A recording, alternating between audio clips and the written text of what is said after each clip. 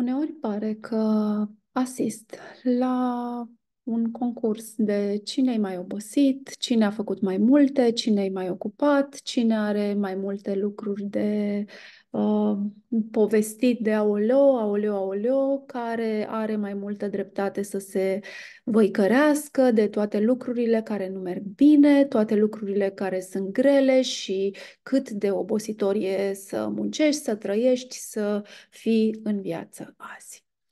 Și uneori acest mod de gândire ne infectează pe toți, însă mai frecvent acest lucru se întâmplă în cazul persoanelor care ori datorită unui grad de nemulțumire cronică, ori datorită unui grad de oboseală cronică, ajung să vadă doar partea goală a paharului, pentru că cea plină e plină de ce sens are să-și mai bată cap cu ea.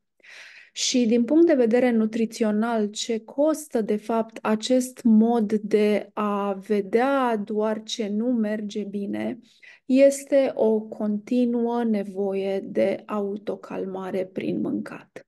Așa că dacă simți că nu te poți opri din uh,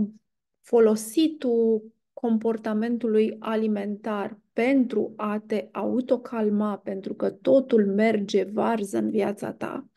ar ajuta să conștientizezi dacă poți să vezi și partea plină a paharului.